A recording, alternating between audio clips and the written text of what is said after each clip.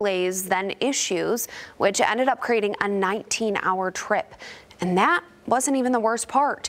Fox 17's Matt Witkos connected with several riders. He joins us now with a closer look. Matt? Amtrak says it all started with a power issue with the first train that left Pontiac Friday morning. Riders say that issue is what made this experience a never-ending problem. Issues like no heat, toilets that wouldn't flush, and no real answers to when they were going to get to their destination. So this is what the toilets look like. They're completely overflowing. Emotions high on an Amtrak en route to Chicago Friday. Supposed to have a really relaxed day and then it was high stress. Katie Kobolak is in the Chicago Marathon Sunday.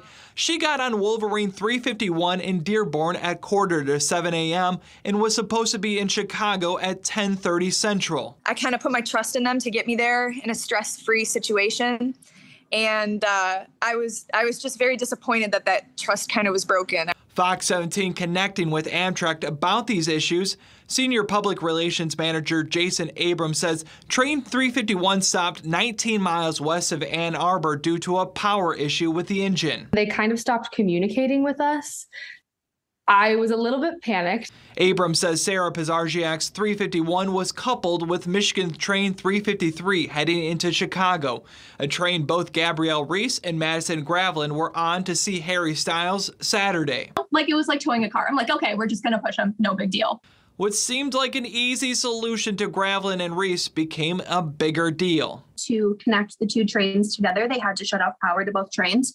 So, with connecting the trains and then restoring power to both trains. That was about a three hour three hour delay, delay. just outside of Ann Arbor. Pizarzik says the power never did come back. Toilet started overflowing and the whole train smelled like a porta potty is the best way I can describe it. Um, and everything was like moving and sloshing around. It was honestly so disgusting and so unsanitary. Uh, On the route between Chelsea and Jackson, someone called 911 because of a medical issue.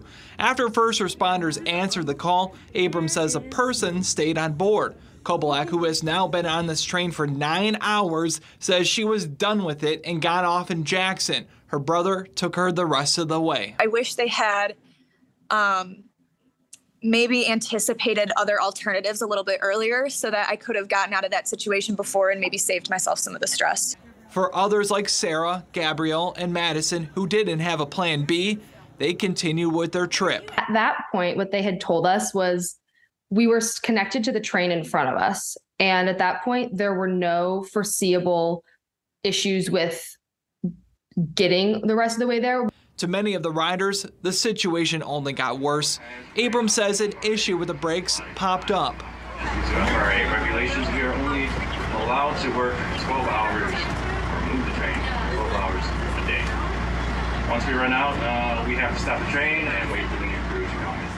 Madison and Gabrielle, on their first ever train ride, were lost at what was going on. Just another thing on the pile. Yeah. I was I was kind of like this can't it can't be another thing happening. I'm like, how is this happening? A new crew did eventually show up. The crew is not the problem right now. And um, right now, it looks like we are experiencing mechanical problems. Oh my God! Abrams says due to the lateness of the combo train, some passengers elected to safely detrain in East Chicago and find alternate transportation.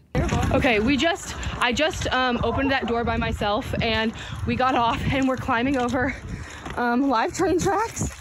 Um, this is so dangerous, but it's okay. Pizarczyk's four-hour trip turned into a 14-hour journey. I don't think you can really see it in this video, but that's our train. We just made it off. We're standing on the side of the road with a bunch of people who we just had to get off. It was so bad. Amtrak says one train took about a seven-hour delay, while the other train almost a four-hour delay. Pizarzik says her father ended up picking her up. Madison and Gabrielle also got off the train and got an Uber. Several people I connected with say they'll never ride Amtrak again. There was one person I did talk to who said they see this as an unfortunate situation, but does plan to ride back Sunday. In the newsroom, I'm Matt Witkos, Fox 17 News.